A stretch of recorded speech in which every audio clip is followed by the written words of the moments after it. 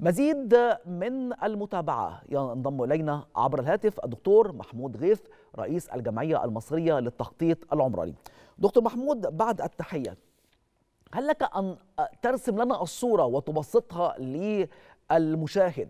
كيف هي تسير عملية التنمية في إطار المبادرة الرئاسية حياة كريمة فيما يتعلق بمحافظات الصعيد؟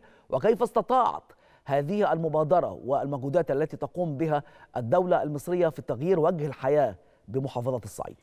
تمام حضرتك. أنا أتفق مع كل التعبيرات اللي حضرتك قدمتها هي تعبيرات دقيقة وصحيحة. إحنا حاليا شوف حضرتك بنقوم بالوجه الثاني أو المحور الحقيقي المكمل للتنمية الحضرية. كنا انطلقت في المدن والمدن الجديدة وعواصم المحافظات. كان باقي الشق الأهم مم. اللي هو تنمية الريف بأجمعه ليتكامل مع الحضر في منظومة التنمية الشاملة. الحقيقة هذا المشروع له ميزات كبرى على مستوى الدولة كلها. أولا إحنا لما كنا بنعالج مناطق العشوائية كنا بنعاني من زحف المناطق المحرومة من الخدمات وفرص العمل. ومحافظات الصعيد كانت أكثر المحافظات معاناة بالنسبة لفرص العمل والأنشطة والخدمات والإسكان مهم. وهذا يخفف العبء الحقيقي على المدن الكبرى والتجمعات الحضارية الكبرى التي زحف عليها النمو العشوائي. القادم من مناطق الطرد السكاني فكانت كل هذه المحافظات محافظات طرد سكاني صحيح. هذه أولوية أكيدة يعني أنا أتساءل اللي هو بيسأل إيه الأولويات وترتيب الأولويات إحنا المخطط اللي بيتعمل معمول وفقا لأولويات مدروسة والمخطط فيه قدرة على مواجهة المتغيرات. من يتحدث عن إيقاف مشروع؟ كلامه غير علمي وغير صحيح لأن إيقاف المشروع يعني إيقاف حياة إيقاف الأجور إيقاف العمل والأعمال إيقاف مسيرة الحياة. كيف نطالب بوقف مسيرة الحياة لكي تضع أولوية؟ إذا كانت الأولوية الحقيقية هي أن نوقف ونجفف منابع العشوائيات التي انطلقت تزحف وتفسد كل تنمية في المناطق الحضارية. فانطلاقة حياة كريمة ضرورة أساسية وأولوية الأولويات. وأنا سعيد أنه رغم الظروف اللي بنعانيها الجميع في العالم كله إلا أن لاحظ حضرتك مدى صمود هذه المخططات أمام المتغيرات وقدرتها على أن تنفذ بمعدلات تنفيذ عالية وبجودة عالية وأنا بقول وأيضا بأقل تكلفة لأن كل يوم كان يمر ويتأخر هذه الأعمال الأساسية. هي ليست أو مكملة أو مو- مو- مسألة تجميل ده هي مسألة حياة. وأنا الآن لما برصد إن النهاردة إحنا بنقول إحنا التنمية المستدامة هي الخط الأساسي عندنا. نعم تنمية مستدامة يعني تنمية مستمرة. لا يمكن أن ترتفع أي دعوة أن نتوقف عن هذه الأعمال. هي أعمال هي حياة هي بتقدم فرص عمل تقدم أجور طب كيف أتوقف عن هذه الأعمال التي يعني هذا خمسة مليون فرصة عمل؟ حضرتك أوقفها بأجورها بالعاملين. ثم أن المنتج ليس صنما ننظر له لكن ده حياة كاملة. نشاط اقتصادي بيدور وينتج.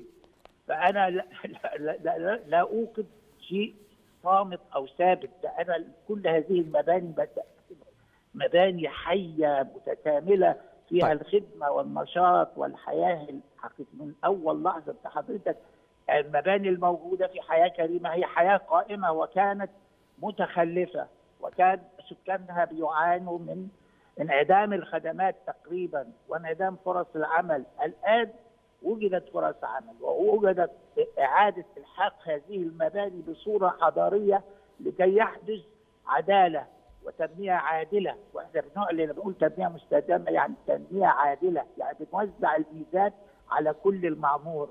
حضرتك انظر حضرتك للخريطة هتجد الصعيد اللي هو كان منسيا تماما منسيا بالمعنى الكلمة الحقيقي بدون استثمارات بدون أنشطة أو في أقل معدلاتها.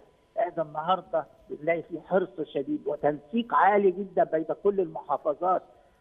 اسف بين كل الوزارات. هذه الأعمال تتمتع بتنسيق عالي جدا بين كل الوزارات وهذه أول مرة نشهد فيها هذه الصورة. أن الوزارات جميعا السياحة الصناعة الزراعة وهي أنشطة كاملة ليست نحن لا نعيد الحياة لمسكن واحد لكن نعيد الحياة لكل مجالات الحياة.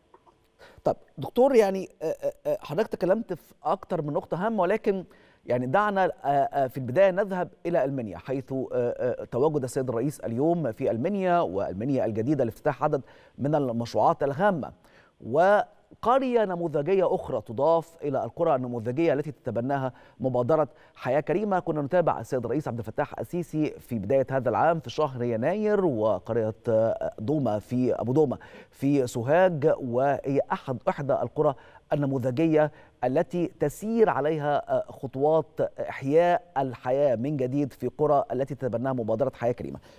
يعني هل من إضاءة عن المنيا والمنيا الجديدة وموقعها وما يدور فيها من عجلة تنميه وكيف تسهم هذه جهود الدولة في إعادة رسم الخريطة في محافظات المنيا سواء الخريطة التنموية أو الخريطة الصناعية؟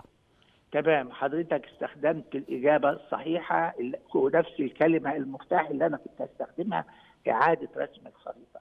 إحنا كان كل العمران القائم استنفذ فرص التنمية. بمعنى أنه لا توجد مساحات يمكن إضافتها للعمران القائم داخل الحيز القائم. فإحنا كان من الضروري أن إحنا نعيد تذكر حضرتك. إحنا من حوالي ست سنوات كان انطلق مشروع كبير إعادة رسم خريطة المحافظات لكي تصبح محافظات تنموية. وليست محافظات وضعت لها خطوط إدارية سياسية أمنية فقط. إحنا بقى انطلقنا في تفصيل هذا المبدأ إنه ما يبقاش في عندنا عمران مجرد خط يحدد حدود ملكيات وإدارات فقط لكن هي خطوط تحتوي داخلها على مناطق تنمويه إحنا لما بنضيف حضرتك بنضيف البعد اللي كان غائب. دكتور عذر المقاطعة أرجو أن تبقى معنا لمتابعة بعض من الأنشطة أنشطة السيد الرئيس في محافظة المنيا.